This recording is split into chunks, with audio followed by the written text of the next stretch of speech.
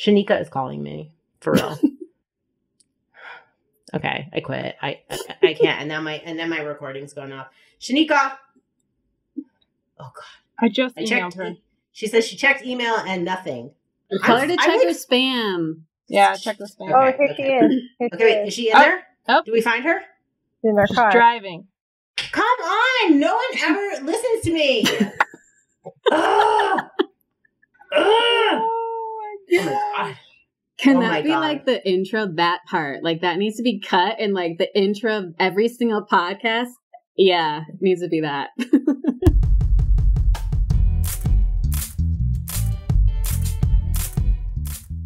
You're listening to Off Color, a podcast where we keep it real around pretty uncomfortable topics race, identity, politics, all that. I'm your host, Rebecca Henderson, aka The Tan Tigress, and I have my lovely producer, Janice Matsko. Recording a podcast during a pandemic is so challenging. And I, it doesn't seem like it would be, but it really is because I like to have conversations with lots of different people from all over and I and and you know what? People have uneven recording situations. People are calling in the car, people are doing all kinds of wild stuff, deleting the audio, not sending it to us, all that. So we're working on it and we really appreciate everyone who's been hanging tough with us and all the Patreons.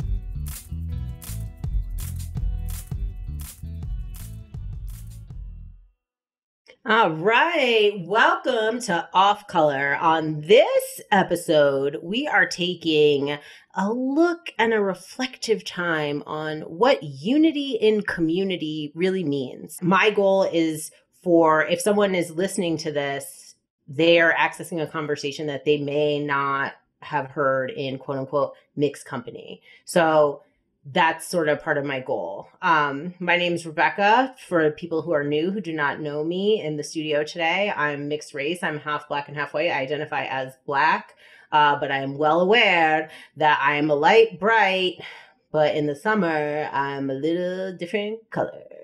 Okay, let's hit it. Okay, so la- thank you so much for coming. So I want to let I'm just going to go around. Everyone's going to kind of introduce themselves, and um, because this podcast is about race and identity, please do identify yourself um, or how you identify, and let's start chopping it up. Okay, you go first, Shenika. Go ahead and introduce yourself. So um, I am Shenika Carter. Who's all on? Oh my goodness, I see so many beautiful faces um, who I need to call because I need you tomorrow. So I'm glad you're on this on on this podcast for recording. But um, as you all know, I do um, a, a number of things. Um, I am an accountant by profession, turned uh, philanthropist, community organizer, event organizer, and um, and more recently, I have accepted my calling of actionist, and so um, that is who I am. Look, this is Denver. We got we got work to do. We got work to do. So, um, but yeah, we have 20 activists, uh, 20 actionists that are coming tomorrow to stand in solidarity with our community. So I'm asking everyone to show up and extend the same courtesy that was extended to to us. And then we're going to march on over to the Mile High Steps at the Colorado State Capitol. So um, again, that's who I am, and um, Okay, so Shenika has her march. Now, listen, by the time this airs, this will be have passed. So, just so you know, we're assuming many people turned out, and by the time you guys hear this, uh, the officers who killed Breonna Taylor will be arrested. That's my hope. all right. Um, Yeah. and there will be charges pressed by the time you're hearing this. Um, so Thank that's you. what we wanted to check in with you about, Shenika. Now you mentioned that you're an, an actionist, okay? And so that is one of the main reasons you're on this i on this call is because you are someone who's very active in the community, and we are here to have one of those very uncomfortable conversations about Black and Brown unity. So I'd also like to introduce my next guest, uh, Lorena Garcia. Could you speak? Yes, hi everyone. I'm really excited to be here. My name is Lorena Garcia and I am a Latina Mexican American Chicana and um I do stuff and I fight for things and um I don't stop. sometimes once once in my life I decide to run for office. We'll see that we'll see if that happens again. But oh, it's happening. I did that again. once before. I'm like, that's happening. Raina's being a little bit modest because whatevs, I don't know why, but she ran an incredible campaign for U.S. Senate here in the great state of Colorado, and uh, she was robbed of her uh, spot on the ballot. That's a whole other conversation, but I'm just saying it on the record because that is what happened. Them's the facts. All right, now we next up, I would like to introduce uh, Tez, I feel like I don't know how to pronounce your name, girl, and I feel embarrassed about that, but let's go. All right, my name is Tezcatli Diaz. Um, I am uh, here in Denver. I identify as a Indigenous Afro Latina um, queer woman. Um, I also am a community organizer known by some in the community as an environmental activist um, but always trying to show up for indigenous causes, black and brown causes, and whenever Mother Nature needs us, which is always. So um, that's what I'm about. And just for your future reference, how to pronounce my name. This is how I break it down for for white people and non-Spanish speakers or I speak Spanish, not, but not, this is like know, some indigenous. It's got the Z. Yeah, yeah, you know, it's like like like in, in Guatemala, it's like Quetzaltenango. I looked at the signs and I was like, I'll just call it Xela like everybody else because I cannot. What is that? What is that? All right, so here's what I, it's like. Te, like T E H. Mm. The name Scott. Scott. Mm. And Scott. then Lee. So Te Scott Lee. Te Scott Lee. There you go. Tezcatli, listen. Do you know, Tez, I have a tattoo of Tezcatlipoca on my leg. Shut up. I didn't know uh-huh. that. Yeah. Oh, were you too afraid to tell me in the beginning? No, I just, oh, I'm like, would it have been weird? Like, I have you tattooed on my leg. oh my gosh, that's gold. Whew, thank you for that lovely introduction um, to Scott Lee. And was that good? Was that okay? Yeah, that was good. Okay, good. Okay, good. Uh, Elizabeth, welcome. Why don't you go ahead and just give us a quick intro uh, and tell us what your uh, ethnic background is, if you are so inclined, because this is a podcast about race. Absolutely. I a I identify as a first generation African American. My father came over from Ghana uh, to go to school where he met my, and he met my mother here in the states. Um, I am a mom, I'm an activist, I'm a gym goer, I'm a vet, I am a former surrogate, sister, wife, daughter. I'm all of the things. Um, I'm very big on trying to help educate about the differences instead of arguing and bickering back and forth with people or being nasty towards one another. If I don't like your views, me attacking you is not going to change either of our perspectives.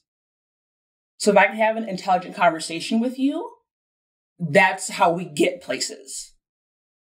So I've done marches. My siblings in Chicago and Indianapolis have both done marches as well. I've done two marches here in um, Colorado, in Oklahoma, and my husband has also done his own individual march. He is a Caucasian male. we have two little mixed babies, and I'm genuinely just fighting to make the world a better place for not only my babies, but their babies and everybody's babies. Everybody is somebody's baby. So just working to make the world a better and more equal place for everybody and their babies. Mm-hmm.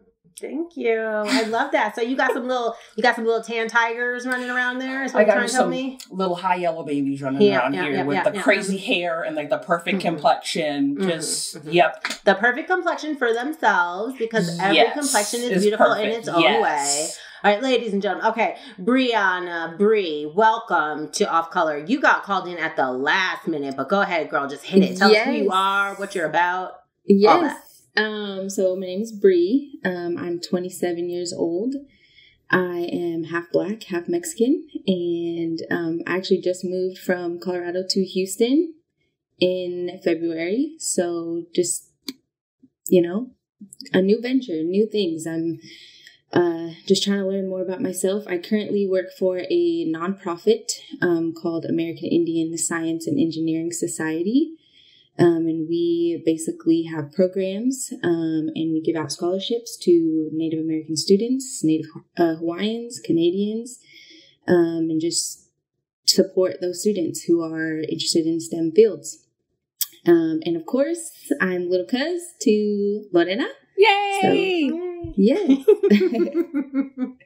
because because Miss Shenika over here was late and so she was our our guest, but she was on one of our favorite uh, local Denver shows, the Brother Jeff show.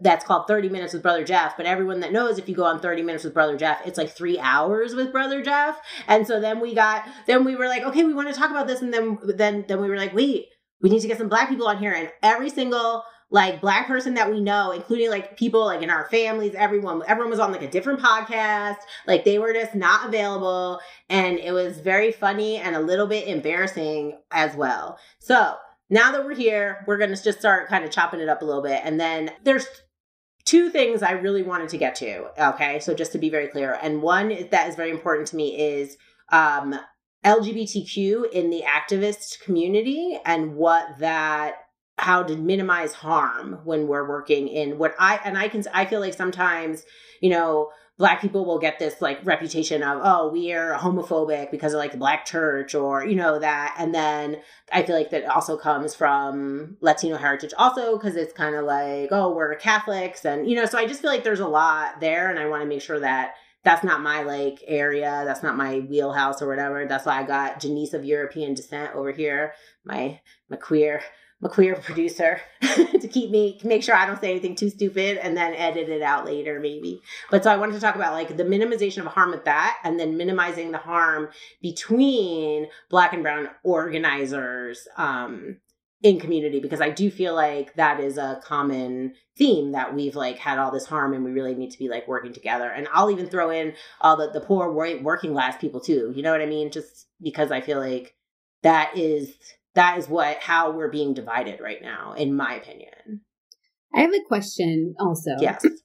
Um i think when you're talking about that i i'm immediately jumping to the idea that areas where it's appropriate for allies and accomplices to have like key roles in the movement and areas where it's not. You know so for example i'm thinking within the within the queer movement we got tons of like straight people like in lead positions of organizations and like leading the work.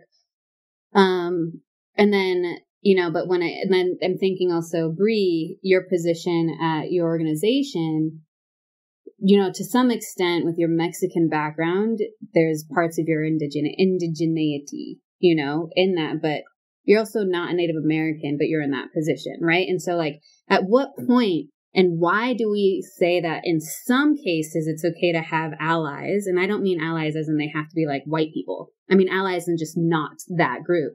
And in some cases we don't. Like for example, with like when we're fighting for um like Black Lives Matter, you know, if there's somebody who's not black that says, Hey, what if we do this?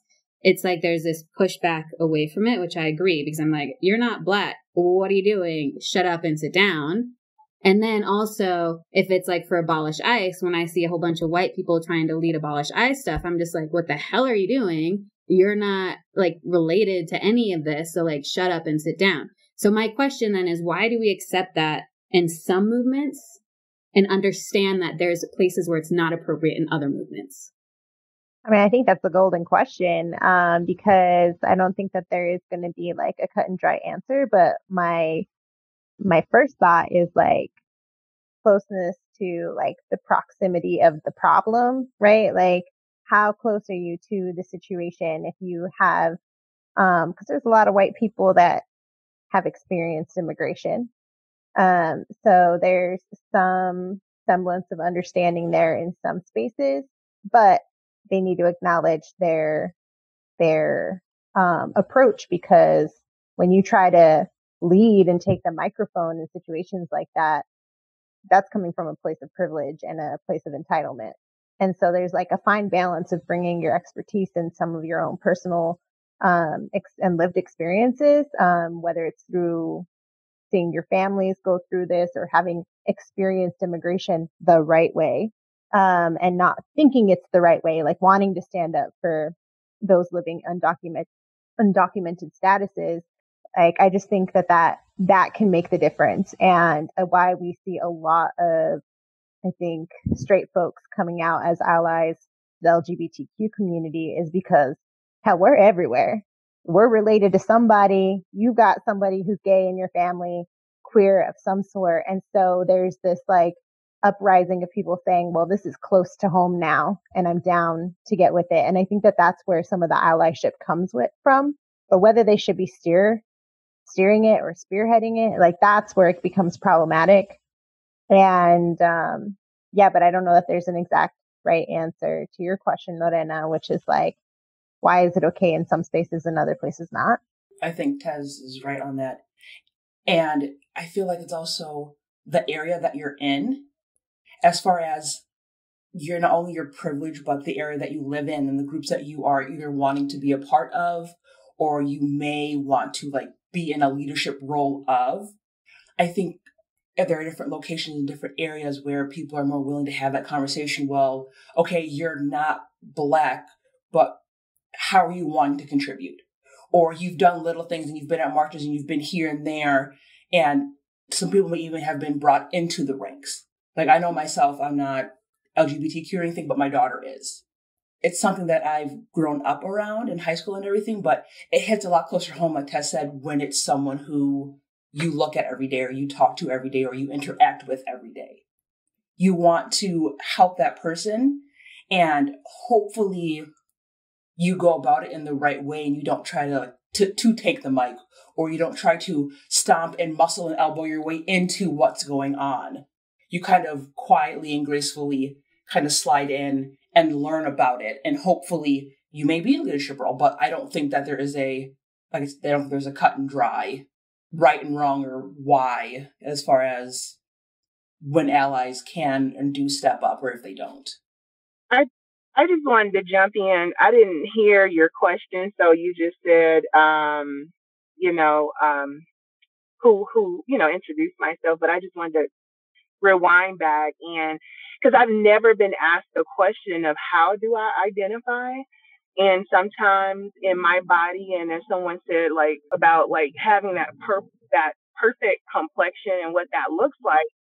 And growing up um, in this country as a descendant of American slavery and not knowing how to identify because I have over you know, 45 different ethnicities.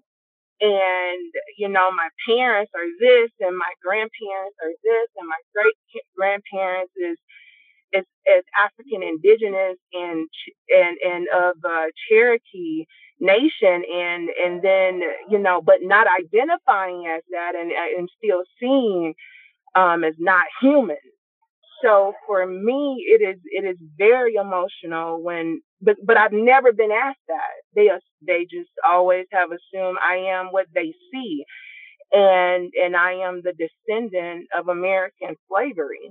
Period. I just wanted to rewind. I mean, it was amazing to hear that coming from this group of of powerful women. Like to Lorena's point, um, how how do we do it all? Um, I can't we can't do it all. We can't be out and and sit on 45 different boards because they it lacks representation. And so we do we we have to, especially in Colorado, we have to rely heavily on those um, that are impacted. And so I, I personally, um, sitting on the board now of like the African American Initiative of Colorado uh, Democrats, I don't, I you know, and, and again, I may not necessarily be an African immigrant here. However, um, we we are reaching out to community to bridge the gap of Black and African immigrant and um, first and second generation. But again, we still rely heavily on allies to show up, and I and and not to ask like answer a question with a question, but sometimes I feel very alone out here. Um, not saying that I am. I'm just saying that I see and I look and and as I see all these black women, we're showing up for every cause. we're showing up because we're impacted so heavily. And then I look to my left, I look to my right, and I don't see that same support reciprocated. I, I don't. And but again, I continue. We show up, we stomp, we show up, and then and someone said, Well, Shenika, what does it look like when we're always taking the causes and the trauma of other communities, but no one shows up for ours?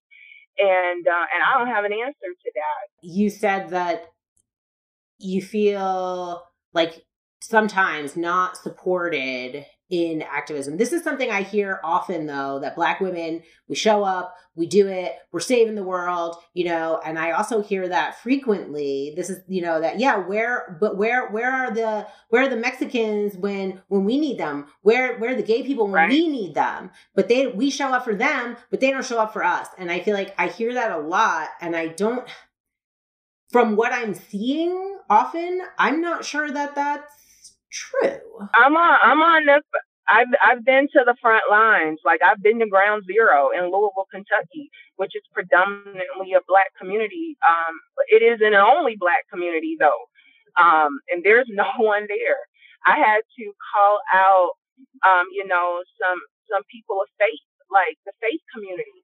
You know, I don't know who took activism out of the church, but but uh, last I heard, your parishioners are human too you know, show up, show up for our people, show up for they're your people too.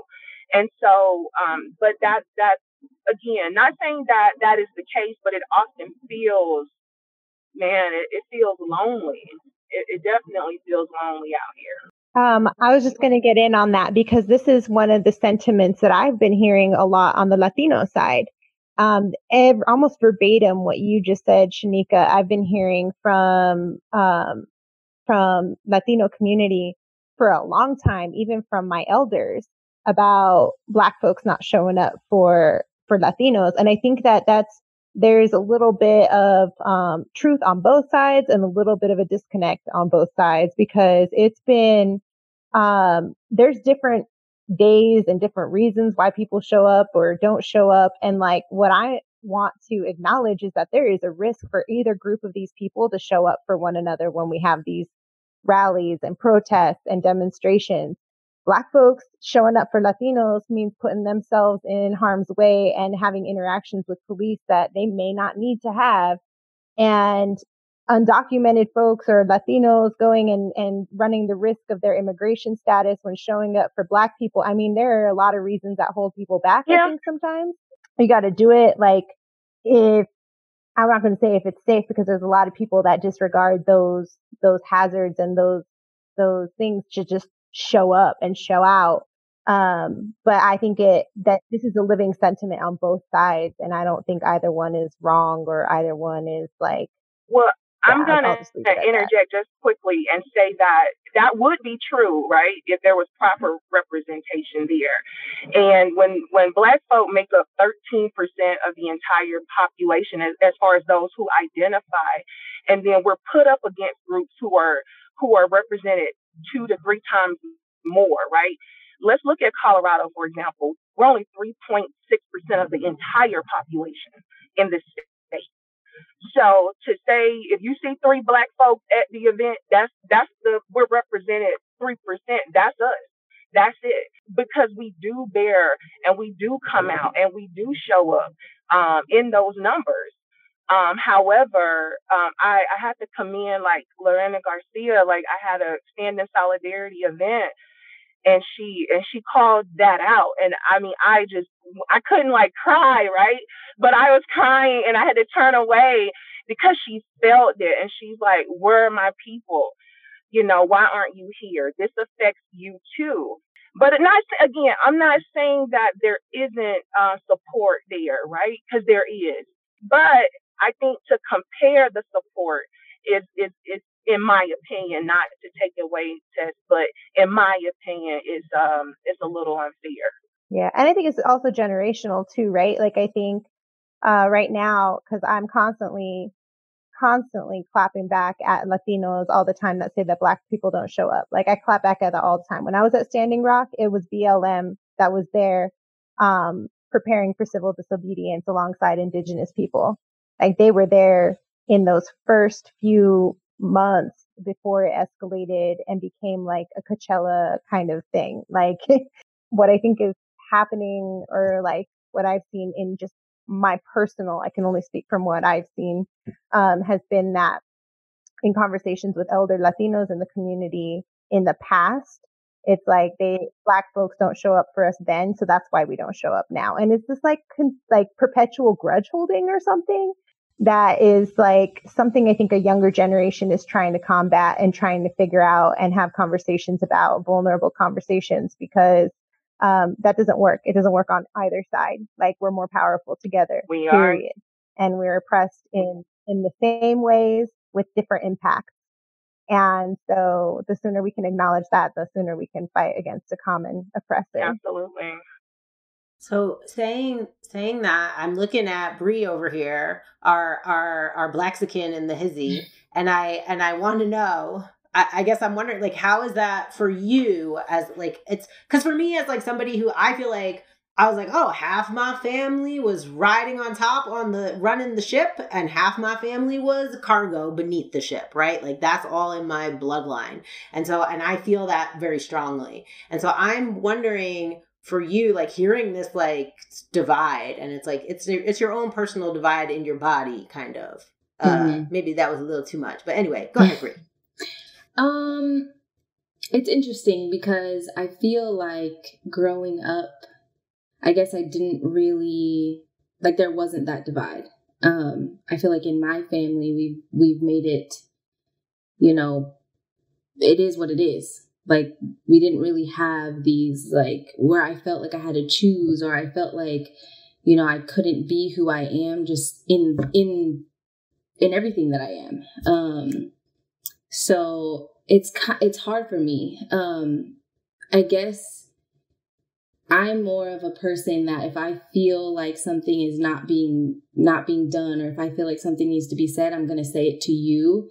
I'm not gonna take it to the streets, I guess, and and maybe that's that's different from you know a lot of you guys that are on the call, but it you know if if my friends or if my colleagues that I know are saying something or feel a certain way about black people or Mexican people, like I'm just gonna tell you straight up, like this is how I see it. And if, you know, again, like if this is something that you don't agree with, then we need to have a conversation about it. Um, I don't know. I, I again, it's just hard for me because I really feel like my my upbringing wasn't.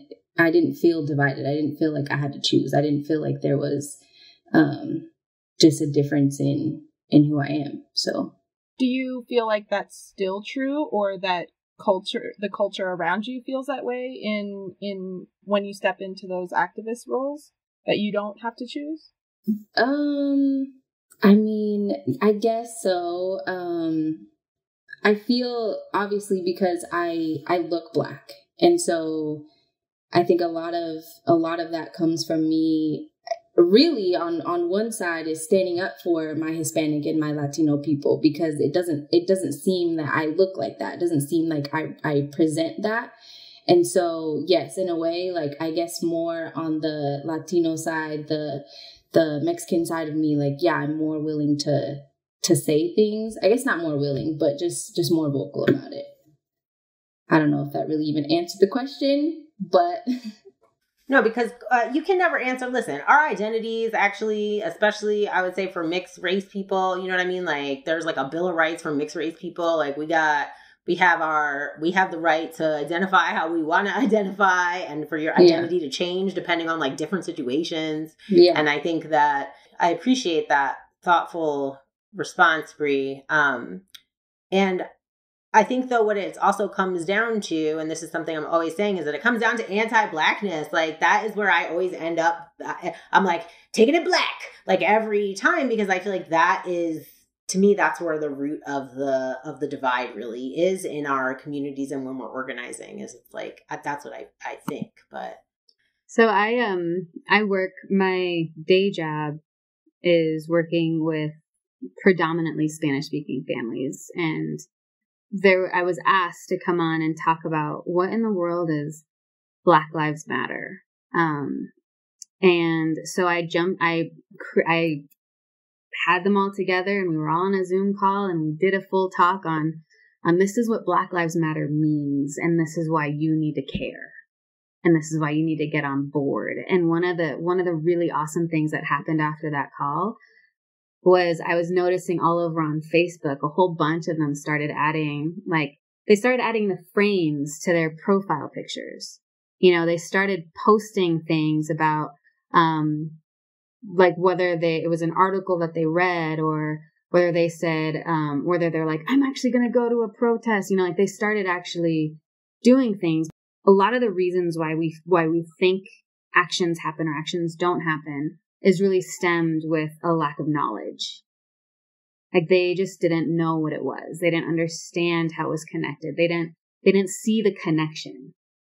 I think in a lot of what what a shift in what we ought to start doing is instead of and this goes with activism and this goes with organizing and this goes like when we're out there like we shame each other. We shame each other like crazy. Like and that's just, that's not helpful. That's not helpful. And whether it's like on purpose or not, but I think like we really need to get to a place where instead of like, we need to assume, and I know we talk about this a lot, like we need to assume positive intention, you know? And also like per, whether this is a, a really jacked up way of thinking, I'm also going to assume you don't know. I'm first going to assume positive intention. I'm going to assume that you don't know. And then after a conversation, if I realize that you know and you still don't give a crap, then we're done. Yeah, I just wanted to name too, just just for clarity's sake, that in no way, shape, or form did I, I, disagree with you, Shenika, about when you look to your left and to your right and the lack of of community, other communities by your side. I was just wanting to name that it's interesting that there's that similar, almost verbatim argument coming from Latino communities. And so, where is the disconnect? Why aren't we seeing the same things? Um, going to what you were saying, Lorena, um, that in these times, um, the common oppressor just like has to be at the root of everything that we talk about because what we're getting caught up uh, on a lot in this lack of education in one another's um, struggles is literally by design. Like we have been so separated from one another that we don't know what each other's struggles look like, even though we're getting hit by the same exact forces that be, you know, and we're getting all of these different ways that we're impacted that when we try to explain it, it's like, no, no, no, that's not what it looks like. And like put down each other's realities when really it's okay to have different realities and the same systemic problem, you know, and the, the sooner that we can realize that it's okay to not only have completely different perspectives on, on the actual pain, um, that our organizing strategies must be different and unique to our, our separate fights for them to be effective because we've got language that we're dealing with. We've got cultural differences. There is an indigenous way to approach things and that is completely different than the way black organizers may want to approach things. And um, none of it is right or wrong. And that's where we put each other down. I think sometimes it's like, you're doing it wrong. that is not how you handle the police. That is not how you have a silent protest. That is not how you have peaceful protest. And it looks different culturally and in these different fights. And we need to let that sit and like be okay with the differences. I, I completely agree. I think that we've let uh, white America influence behavior to the point where we even question, um, are they doing it right? Uh, but yeah, I think that we've let the narrative on on what what behavior looks like. Um, and I've always corrected, you know, even our allies. You know, why would you march and why would you protest in the middle of the road? Because your ass been ignoring me for the last ten years. That's why. And until I blocked you from getting to Costco, then you acknowledged me. So to go back to what you said, we have to look at the data.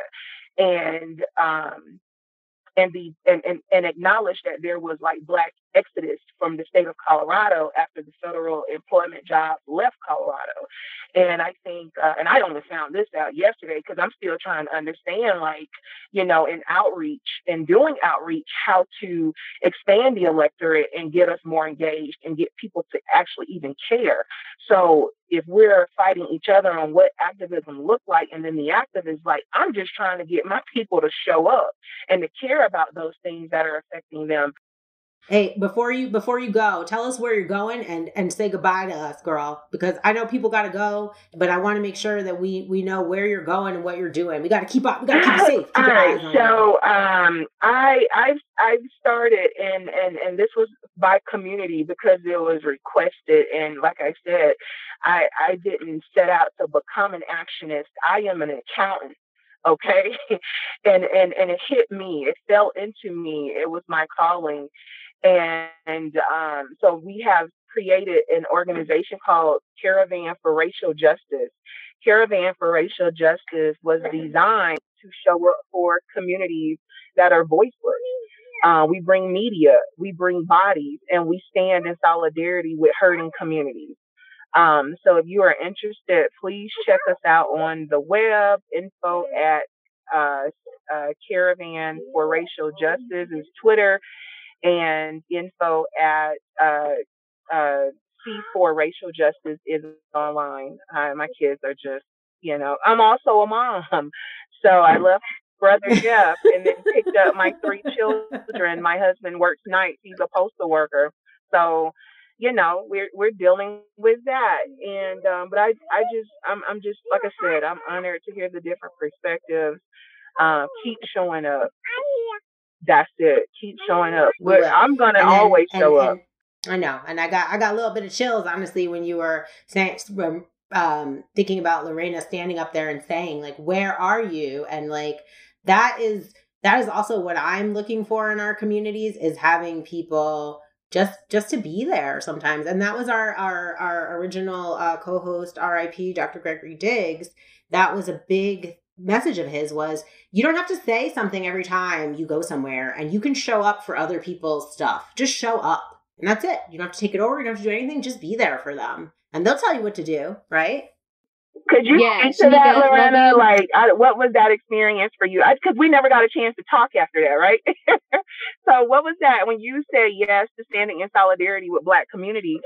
What, how was that for you? And then I'm gonna go. I, I just wanted to know that. Um, how was it? There's so when I speak to that, when I talk about like where the hell are you? Like show up. I'm very also like aware and acknowledging that there's different ways of showing up. And I think one of the things is like I'm looking around and I'm seeing one in Commerce City. Okay, in Commerce City, and if we're talking about representation, the majority of the people at that rally should have been Latinos.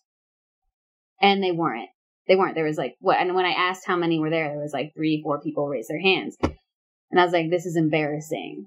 And um, and I think the reason why I said this because I also know like I know like 15 people that I reached out to that I was like, this is right next door to you. Get your butt over here, right? So one, it was like this idea of like I'm frustrated, and yet I'm saying this and I'm preaching to the choir here because you guys are here. And even if you were listening on Facebook, you're still showing up because you're still listening on Facebook. You know, so I think one of the things, one of the things that I'm, um, I didn't feel, I didn't feel embarrassed or ashamed of like saying it because like you speak truth. And if you're speaking the truth, then you should like, you know, like you speak your truth. I think one of the things that I want to better understand, I think that's one of the, also the reasons why I'm super thrilled that Bree is here is because if we do have people that are super knowledgeable, that care about the issues, and yet going to a rally isn't their thing, right? How do we still engage? Like, you know, where is it and like what what are we missing? Because I know, Bree, like I see you, I see you on Facebook. Like I know that you're not silent. And so what do we do and how do we engage folks that aren't on our like on our speed dial of texting like show up right now at two o'clock? And then how do we do that in in a meaningful way where we're not necessarily like saying, well, if you're not like if you're not coming to my banner flying at 7 a.m., then you're not down with the movement. you know what I'm saying? So like that's the other thing is is I'm saying this and and I also kind of I'm I felt like even if I'm I said Latinos aren't showing up, I still felt like the people who needed to hear it weren't hearing it. I think something that could be really healing for creating those bridges too. Um, the bridges that are already done been built, been there, bridges that have already been there because people in the past worked really hard to build those bridges for black and brown communities to unite and they need maintenance. You know, that's the way I look at it. They need hella maintenance.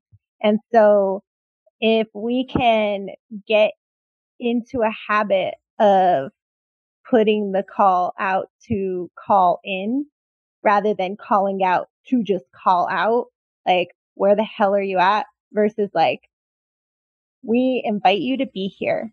And when you put out that invitation and they don't come, then it's like, I'm definitely mad, mad. I'm big mad. Um, but like we're in a culture right now that I think is very call out and not call in. And that's where a lot of the labor of love comes in is like having to have the patience, which none of us have the time. And it takes a lot to build the patience, but to actually say, you know, it would really mean a lot to me for you to show up and that be a one on one conversation with somebody.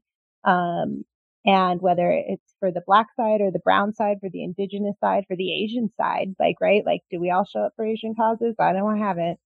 So it's like, um, those invitations are, are really important to extend from a place of love. And I think sometimes when we're calling out, they, it comes off so like out of angst and frustration that that's all the invitee is getting. And like you're saying it, you're naming it because you want them there.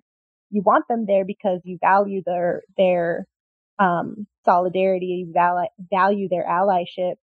But the way that it comes off is like a call out and that doesn't feel warm and fuzzy. And Tez, I don't think it's so much like the hippy dippy love. Growing up, my mother always told me you get more flies with honey than you do with vinegar if you want people to come out and to come out and help or come out and support or even like little stuff like posting on their Instagram and things like that, they put a little honey on it. A nice, hey, we're doing this. I I want you to come with me to come be a part of it. I want you to come be come and see this. Or stroke their ego. I I, I feel like we need you to be a part of this.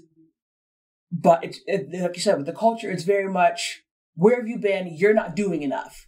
Or you're doing it wrong. When in a lot of cases, it's not necessarily that it's wrong, it's just different. There's a difference between a wrong way to do something or experience something and just a different way of doing things and experiencing things.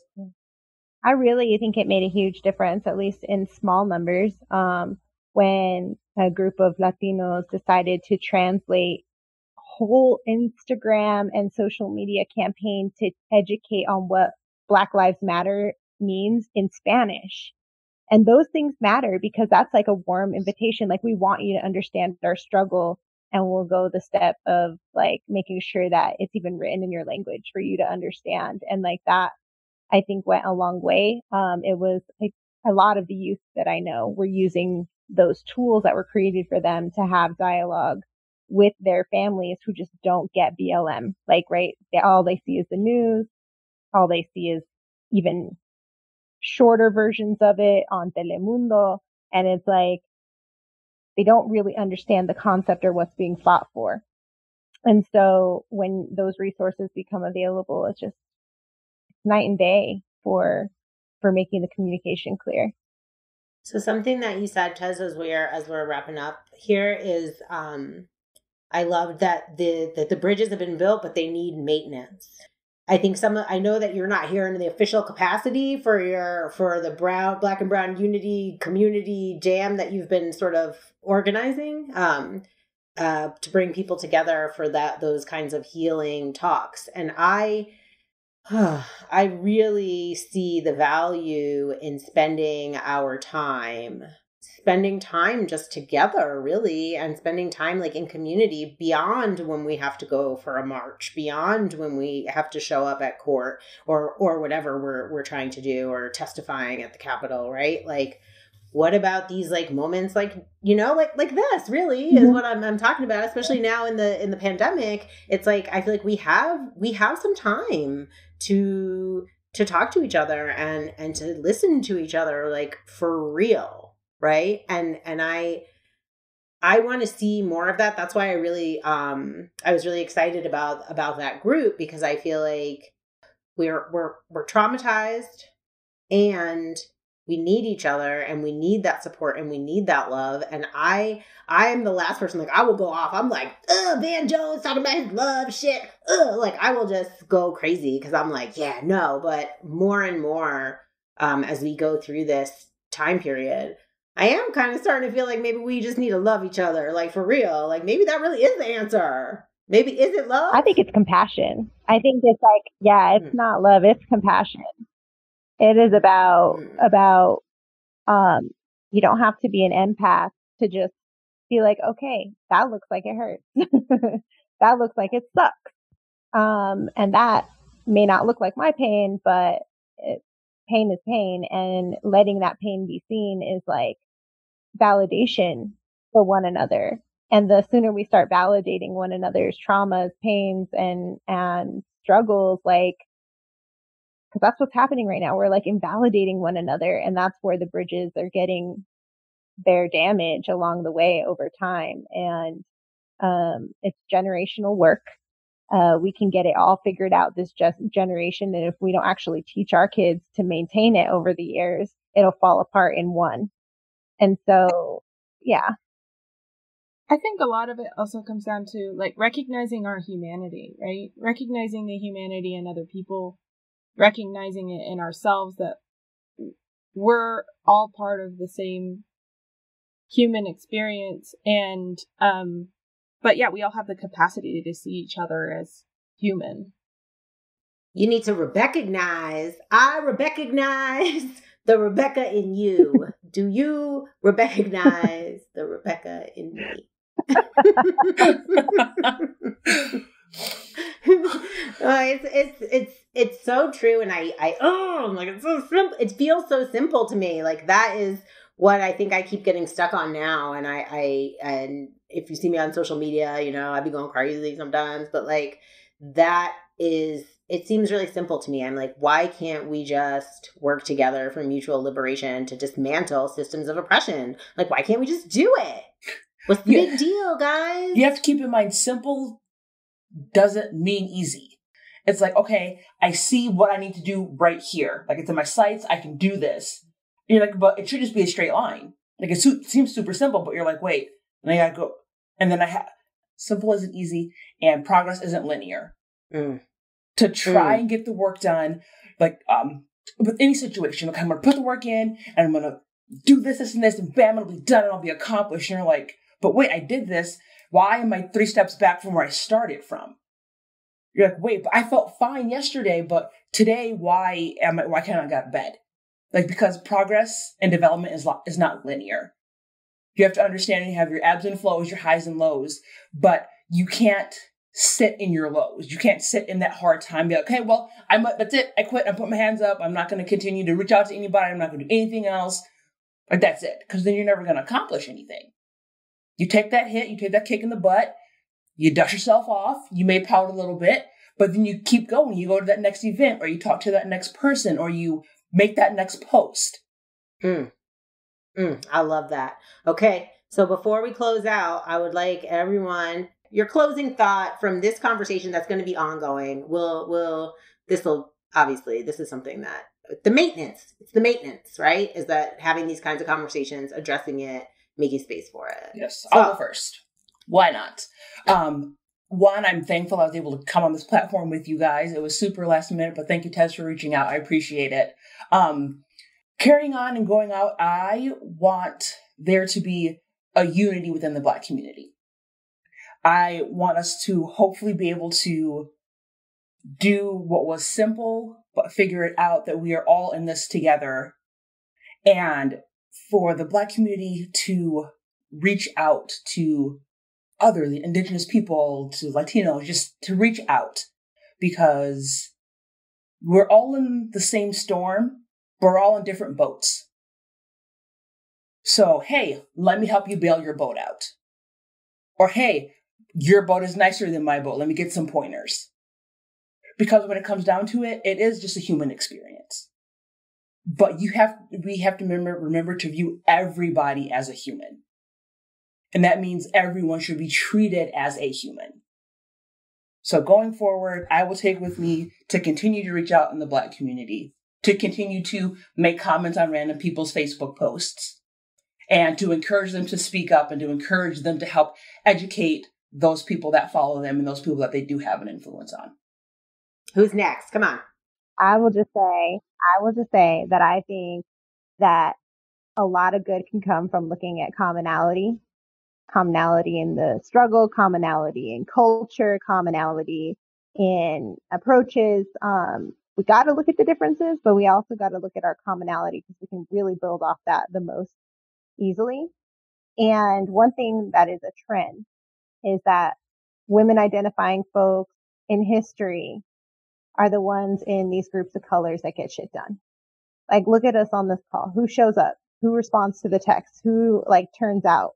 And uh, it's been said many times, black women get people elected, right? They really have a hustle and grind like no other.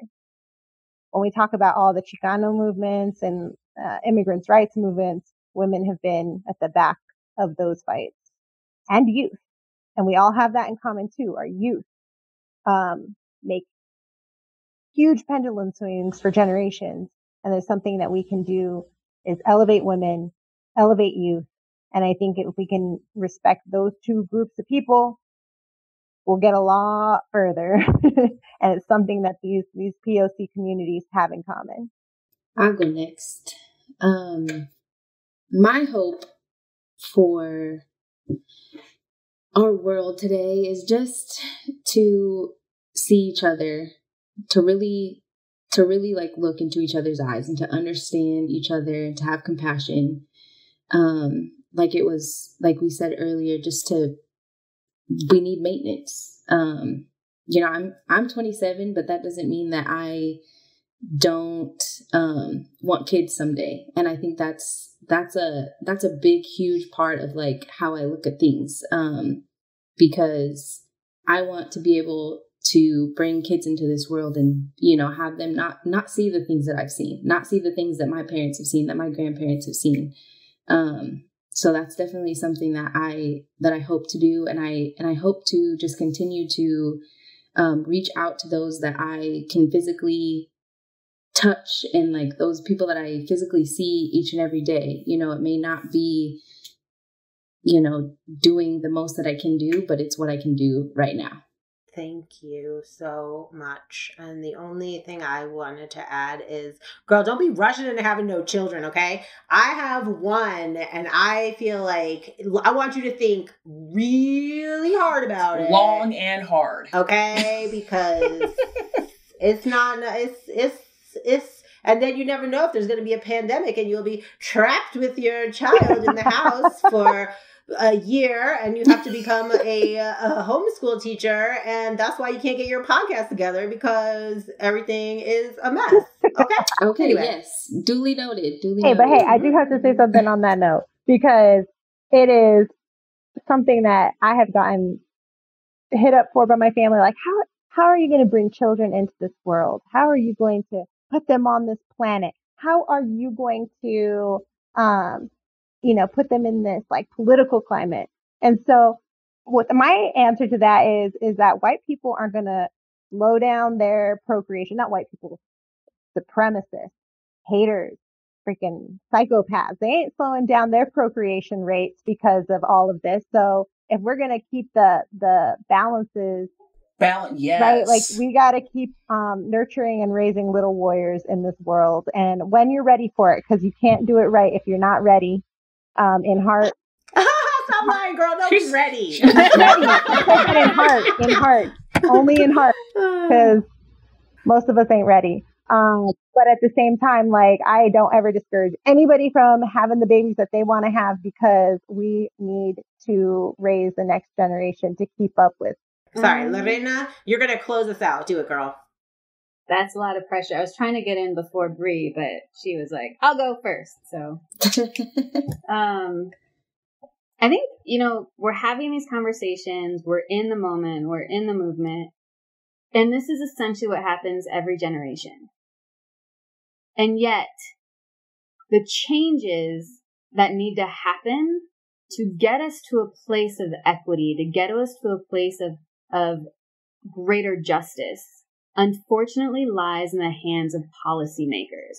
And our policymakers are rarely courageous enough to do what's necessary to make the changes that we need right now. And what they often do is they punt the issue to the next generation. Mm-hmm.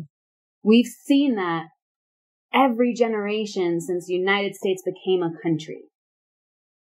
We cannot fail the next generation. We, and I say we, as the millennial generation that's right now, as the Z generation that's right now, and yes, even the freaking boomers that are still breathing right now, right now is when we actually have to make the changes necessary. And you know what?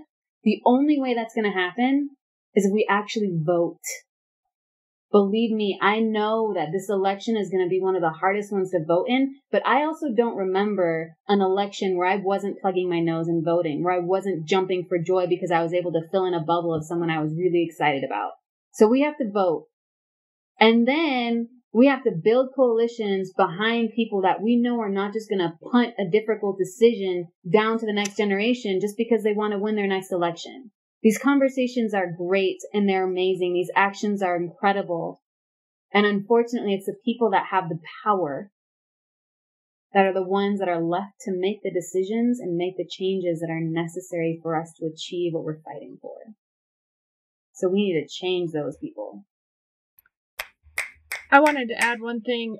Um, I wait. She did a whole speech. What the hell? I know. No, I, that was incredible that was incredible, and um, it really like drives home the point of this. Uh, so at the beginning of the pandemic, I started reading this book. It's called Everything Is Fucked, um, which is incredibly appropriate for the time uh, I was reading it. And um, in it, he basically talks about how like hope, you know, like having hope and just hoping for a better future is a double edged sword, right? We can't keep, like you were saying, punting the problems down the road and just hoping that eventually they will be solved. And the point that he makes in it is that we have to stop treating each other as means to an end. We need to start treating each other as the end, the desired end, and not simply means to an end. Hashtag and, like put people saying, first. Yeah, put people first and vote and take action. And then speak, going back to what Tez said, let's vote, but let's organize around getting women in office and not just any woman, right? Because we know not, not every woman is awesome, but like, let's get women in office because women are doers. Women are not going to be the ones that are going to say, no, no, no, no, we'll deal with that later. Now's not the time. Well, some do, but the ones that we're going to rally against are not going to. So we really need to do that too. Mm, you know I'm on that. That's all. That's of my things I like to do. But I'm also this is now now we're out in the weeds, y'all, because I feel like I want to have this political conversation about what can we do with the ones that we're kind of like, hmm, you're not the best, but maybe we could puppet you a little bit, you know. So I, I'm I'm I'm thinking about that a lot. It's a future episode. Future episode. Future episode. Okay. Thank you guys so much. You are too precious, Boo Bear. You're too bye. precious. Mm-hmm. You're like a peanut butter jelly sandwich. A for girls. Except for oh. Okay, bye.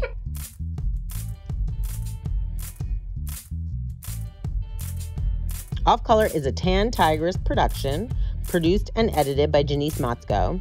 Our theme song was written by James Neekum, aka Y James. Like us on Facebook at Off Color Podcast. Follow us on Twitter, Off Color Pod. And if you like what you hear, hmm, put a dollar on the Tan Tigress Patreon. It's listeners like you that make this wild show possible.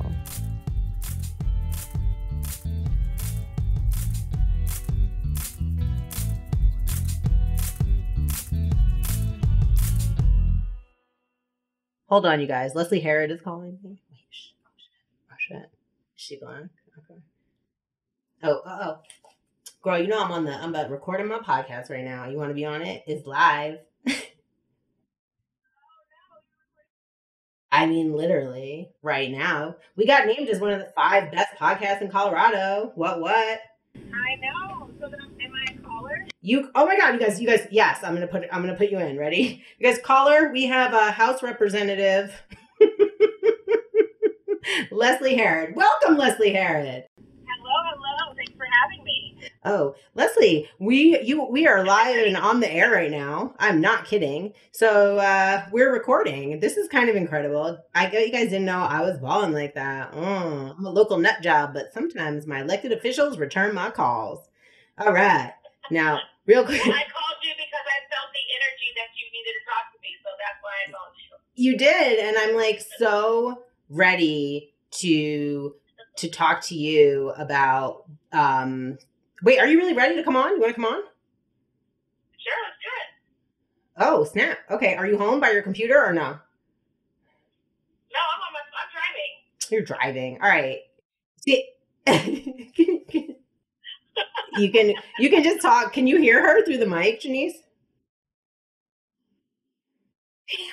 All right, because we want you to click in. Why don't you just come over, sit on the porch? Hold on. we want because this is important. She's a pol- this is what I'm talking about. It's policymakers. We want the policymakers that are going to help us have unity in the community. That is what the conversation is about. Do it. And so that's why, but I can't do it right now if you can't click on my link because you're driving. So, No, I can't. But have me on another time. I'm happy to. okay, we'll have you on as soon as you want to. Well, you're like kind of on it right now, to be perfectly honest. I got all kinds of local leaders. We're doing a conversation about black and brown unity. Is that a conversation you are interested in from a social justice perspective? Representative Herod. Always. Okay. Always. So- always. All right. So we're going to have you back on to to further have a deeper conversation about these things and to also we're pushing it. You know me. I'm I know that you know I'm a radical. And I and I and I love some of the work that you've been doing, but we know we'll push you as far as we can. Oh, I know you will, and I'm counting on it. Yeah. Accountability. Okay. I love you. I'll talk to you soon. Thank you so much for calling in, Bye. Representative. Bye-bye. Bye. when my house representative calls me i it's usually because i have called her and she's calling me back. And i feel like that's great because i'm always like you have to shut down the schools. We're all gonna die. Okay sorry start over. Are we ready